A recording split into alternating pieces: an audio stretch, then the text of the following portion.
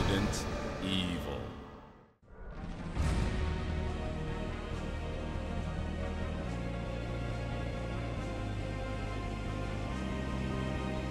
Well, I guess I might as well start the episode here.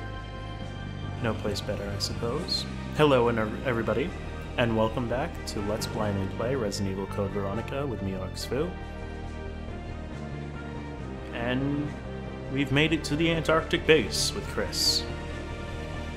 What lies in store for us here, besides tentacles, I have no idea. Although, if they're able to be more imaginative with how the T-virus works than tentacles, I would be very surprised. I wasn't expecting anything of the kind. Alright. So... Yeah, Antarctic base, let's go. I mean, it's not really much of a, uh, a forewarning, because the, uh, no, that's the emergency evacuation uh, elevator. We're not here to evacuate yet. Here to get folks out. Uh, there's a tentacle. By the way, I realized I never really, uh... Is that all we have to do? Just shoot it?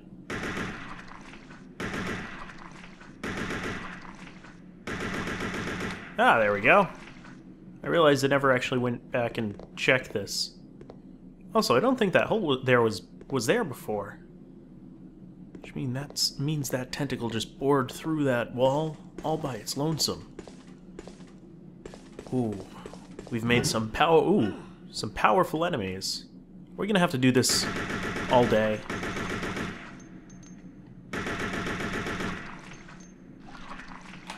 Come on. That actually hurt me? No, I'm fine. okay, so these are more of a, an annoyance and an ammo drain than anything else, it seems. It seems, I may be wrong, but uh, we'll see, we'll see. Oh. We kept the uh, halberd pin or whatever. Guess we'll have to use it for something else. Alright. Oh, jeez. Wasn't expecting it to be quite so bright. That near felt. Oh, wait a minute. Oh. Okay. So. There's a layer of ice, it looks like, and a giant spider. Things have turned from bad to worse. Also, I just was not expecting it to be so glaringly bright as it was. Uh... Is it... Oh, it's just a sheet of ice. Well, you know what they said about walking out on the ice, kids. Make sure you get your parents to check if it's thick enough. But Chris is an adult. He'll be fine. Right? Oh. No, well, that's a body. I want to see more of the body. Is he just, uh... Oh, help. These guys were not here before. What's going on?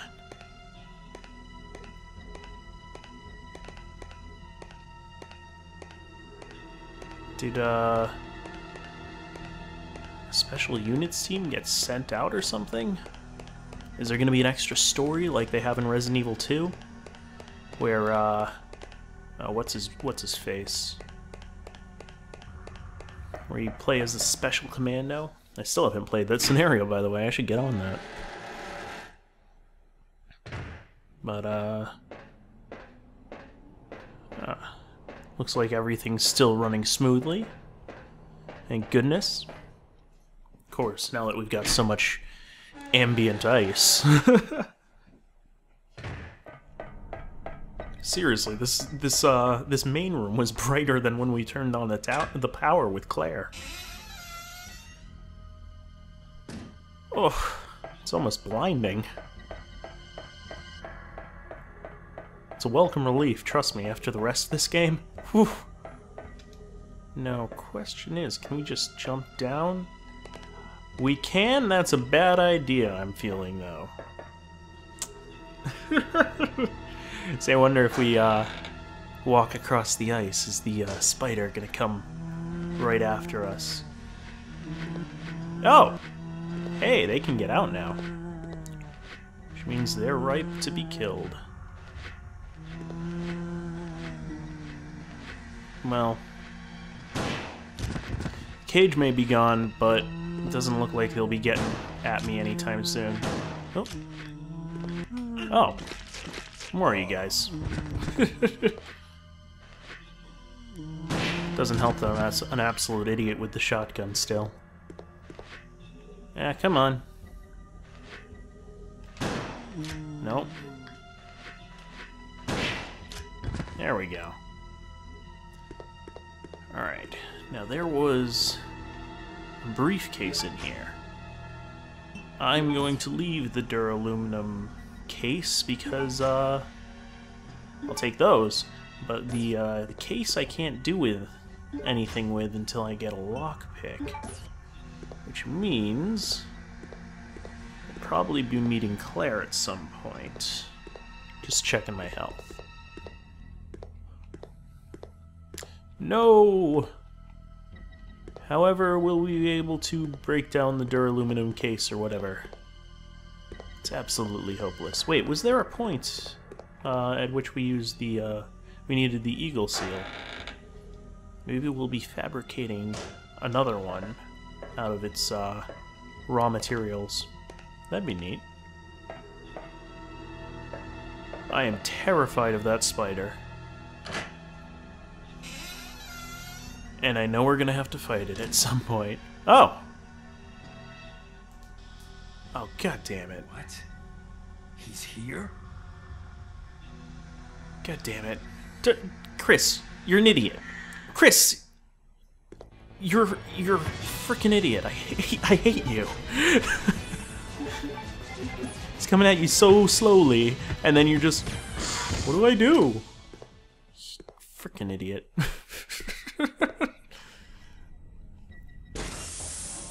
I wonder if I can shoot those things. That might work. That or it would be the worst idea I could ever have. We'll see. Shall, shall we not?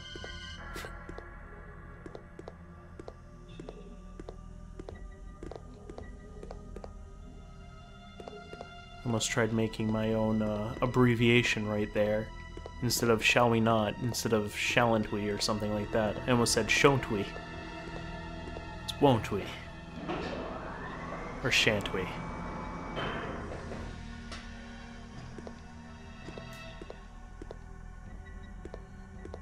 Okay. Wait, wait, wait, wait, wait, wait, wait, wait, wait. There's a small square hollow. There's a notice. You can drain the water under the following conditions to clean the tank to exchange the water. I can do it if I want. You're not the boss of me. You're probably dead. Whoever wrote that notice. I can do what I want. Alright, what do we have here? No! Do not push the switch. That's... Okay, push the switch.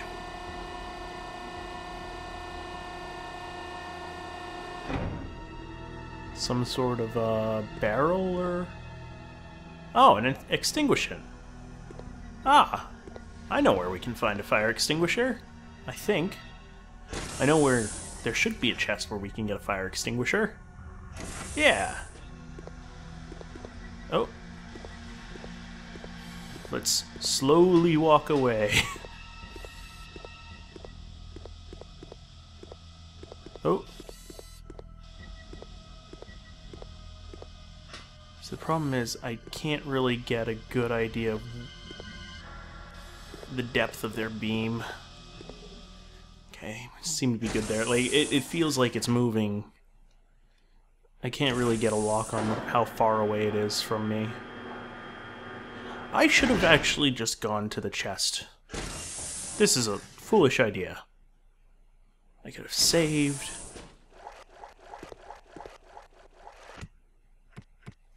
No. nah. Okay. New plan. New plan. What I'm doing right now is foolish and dumb. I'm risking everything just to explore. And not even exploring places where I know there might be something. I'm just being kind of dumb and, uh... Okay, wait, wait, wait, wait. Aha! Uh, no! Damn it. No! I'm just being so dumb right now. Oh god, no, no, no. We had it equipped.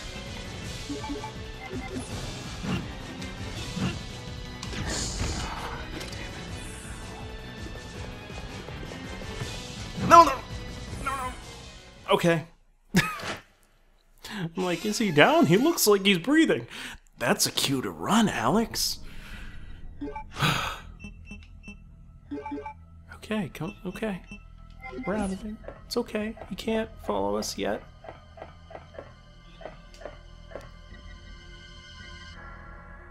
Yeah, to operate the crane, I also need there to not be a sheet of ice over everything.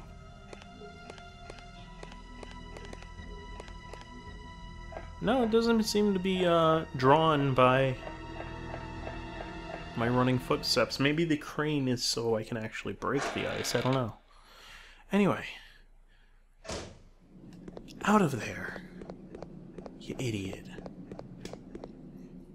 Oh.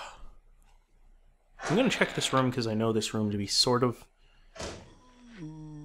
No, wait, what am I talking about? This room isn't safe at all. This is a barrack. Um, it's a barracks. Of course there are gonna be zombies in there. You know, I'm going to the room where I know there's a save point and I know there is a chest. Maybe the moths are gone because it's so cold now. Nope. Monster might have been the killer. Good detective work, Chris. How'd you ever come up with that? I don't know. It was just a hunch. Alright. I got Uh, where is fire extinguisher? But more than that, there we go. Ink ribbons. I am saving, and there's nothing you can do about it, Chris. That's actually been a while since I saved. I had to replay some as well, so. And, well, I was gonna say, and looky here, but then I had to go and ruin what the surprise was gonna be. It's gonna open the, the liquor cabinet. Oh my god. Uh, Alfred Ashford Paperweight. Guess he likes to play a dice game with uh, his initials. I, I don't know. Alfred's Diary.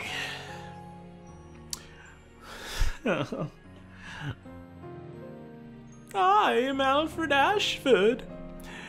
There's a sealed room in the hallway located inside of the Antarctic facility. I don't know what is hidden there, but I do know how to get in. I can use the three jewels that each one of our three family members wear as proof of being a legitimate descendant of the Ashford family. And the only problem is, I do not know how I can gain possession of my father's proof. February 17th. I finally succeeded in entering that sealed room. I never could have imagined that such an insane secret existed regarding the birth of both Alexia and myself. I hate my father, that fool Alexander. Now, it is obvious that we were merely created in an attempt to cover my father's blunder. I can never trust him again. I must regain the glory of the, of the Ashford family with my sister. I have nothing to be afraid of as long as Alexia is with me. March 3rd. Alexia carried out the experiments on the human body that we've been talking about. Our useless father must be happy now, since he can finally con- contribute to the Ashford family. The only thing we should be careful about is that the butler, Harmon, does not become wise to our activities. April 22nd. The experiment resulted in failure. Our father was useless after all. Even worse, he turned into a dangerous monster that is completely out of control. We tied him down and locked him up in an, an underground prison cell. However, Alexia seems to be close to a solution. Beyond all my expectations, she now says that she wishes to conduct the experiment on her own body. On top of that, she feels she must be kept asleep for 15 years in order to accomplish the experiment. Thanks to that idiot! I can't see my dear Alexia for as long as 15 years. Alexia is going to sleep, with all of her trust relying on me. Now, I am the only one who can protect Alexia.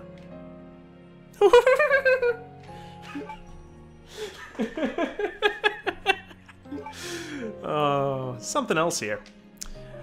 Uh, good bottle of wine. No, just ink ribbons. Damn. Alright, so we gotta get the family seals for the Ashford family, it looks like. Also, it seems like, uh, Mr. Tall, Gray, and thousands of arms was Alfred's own father, Alexander. Well, seems the dark twists of this family's secrets are deeper and darker than I ever imagined. no, I- no, I don't want to. I want to take some of the cigars. Just you know, have a good time. That's what you do with cigars, right? You just Come on, you just you you, you you celebrate by smoking a cigar, right?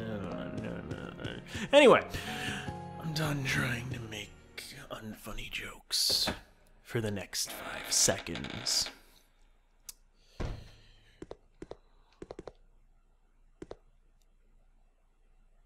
Whoa. This seems to be some kind of nest. It's rather big. I don't think that this nest can be removed. Oh boy. So here's the question Do I want to go fight a giant spider? Or do I want to fight something in the dark? Exactly, Chris. I think it's time to fight a giant. Oh, phew. I think it's time to fight a giant spider, but boy, did that actually scare me. Oh.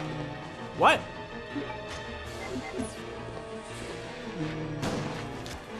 Get, get it off of Get, get. Chris, get it off of you. Yeah, like that. Come on. Where did that? What? What? Where? Did, where did that even come from?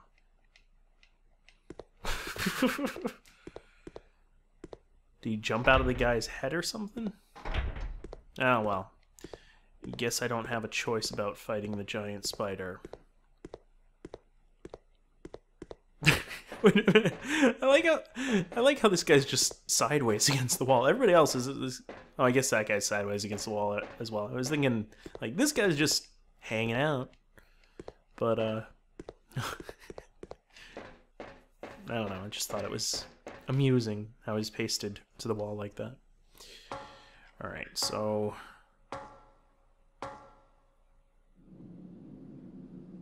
wait a minute.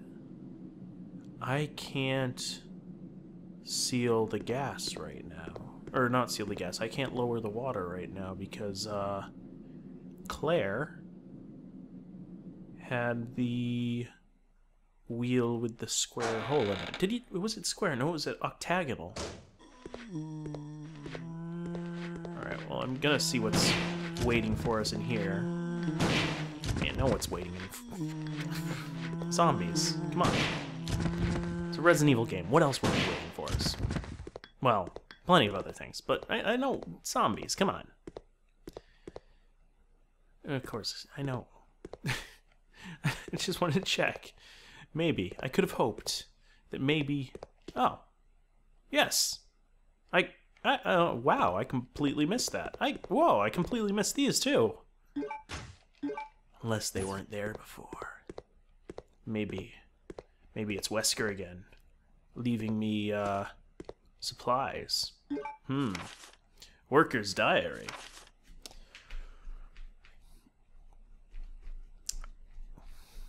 I can't either be like, when I joined Umbrella Inc., or I could be like, when I joined Umbrella Inc. I could either do like stereotypically burly man or stereotypically like skinny nerdy dude. Skinny nerdy white dude. So, when I joined Umbrella Inc., I thought I would be able to live carefree for the next. I'm doing a southern accent again. I always do a southern accent.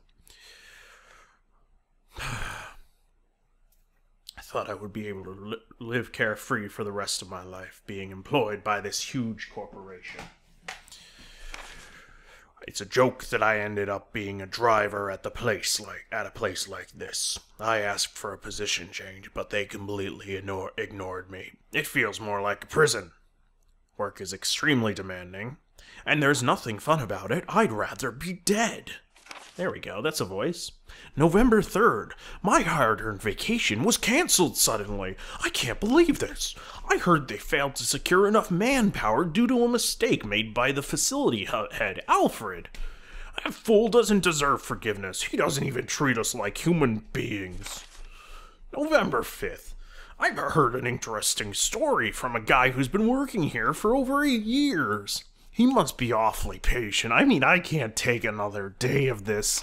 They haven't even given me my paycheck in like two weeks. They said they didn't have enough allocated to payroll and other people needed it more. He says that there's a man who's been confined for over 10 years, locked up in a cell located deep down below here. People call him Nosferatu and are deathly afraid of him. What an absurd story. I mean, the thing that these people come up with.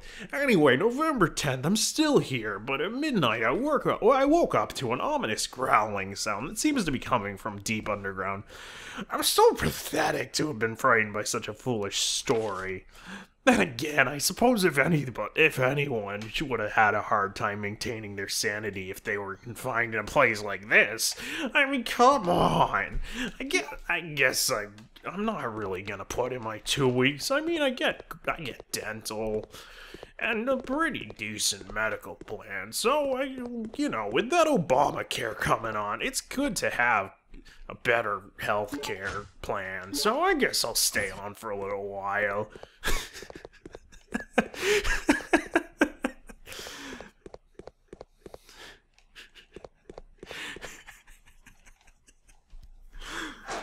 Channeling all my coworkers at once. Not the voices, just the. anyway that that happened.